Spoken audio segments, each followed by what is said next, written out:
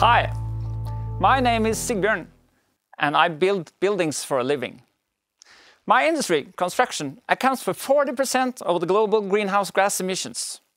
This large number comes with an equally great responsibility to help reduce them, as well as enormous opportunities to make a difference. With the many good examples of change in the uh, construction industry today, I'm ready to venture this assertion. If everyone made use of currently existing knowledge and technology, we could cut the greenhouse gas emissions from building by half by tomorrow. But for that to happen, we need to take stronger action. The greenhouse gas footprint of a building is affected by a number of decisions made along the way, and those decisions are influenced by a wide array of stakeholders and traditions. Overall, the industry has knowledge that could take us a long way forward. But to get there, we would need to coordinate what we know, build climate considerations into our fact base, and apply our collective knowledge towards making good choices at the right time. If everyone applied already existing solutions and technology, we could cut the greenhouse gas emissions significantly. So, why don't we? First and foremost, believing is not enough. We need to actually know. Many decisions are based more on faith than on fact. Truth may not be truth forever, especially when addressing a relatively new problem. A logical choice is also not always the right choice. And all too often, we miss out on opportunities because we expect others to take charge. Not a single climate issue was ever solved by saying, "I thought that was the architect's responsibility." So, if we don't build on fact, are we able to select the best solution? Second, decisions are made by people with different personalities, different views on climate issues, and different responsibilities, which all influence the decisions they make. Risk aversion is a human trait. We are afraid of failure and tend to favor accepted truths. The construction industry today is both high risk and low margin, so we want to avoid adding new risk. Also, a personal conviction can be stubborn. We tend to seek confirmation that we are right rather than admit a mistake and lose face. And often, new knowledge may obstruct a business idea or a perception that has served you well over a long time, and many would rather rest to survive as they are than adapt to a future marketplace.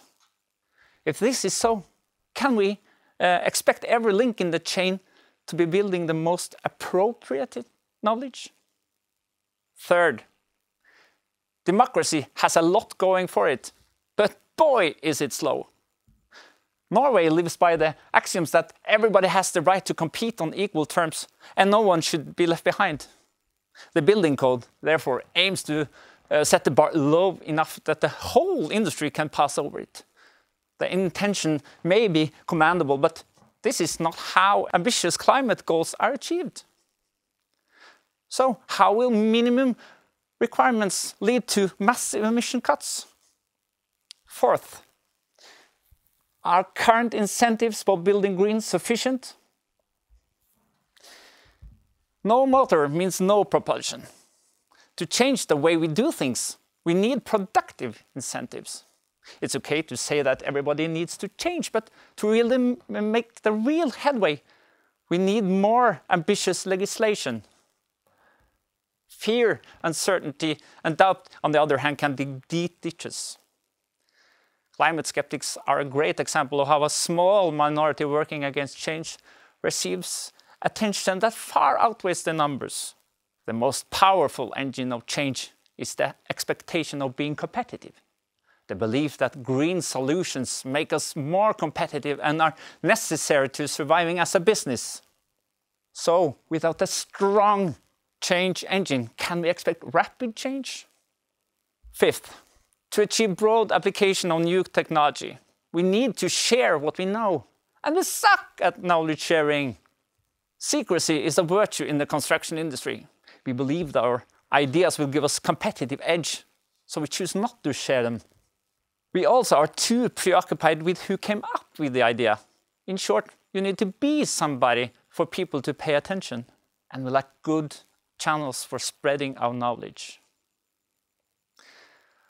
I've been able to get over this hurdle because I have a broad network of industry people and, and media contacts who help me call attention to issues and solutions, but not everybody is so fortunate. And if we don't share our knowledge, how do we expect people to find it? By all means, there is hope. A lot of good work is being done and yielding great results. But to get where we should be, the industry needs to gear up efforts considerably. And for that to happen, more industry players will have to shoulder the share of responsibility. Nothing ventured, nothing gained. To show you what can be gained when you are willing to navigate these challenges, here's the ZEB laboratory, built with my employer Veidekke in my hometown Trondheim. This is a zero emission building built with known solutions and known technology. Through collaboration between scientists, customer, contractors, and consultants, and where everything we are learning is shared. This is also an arena where we invite our competitors because there is nothing to be lost, but everything to be gained by sharing. Thank you.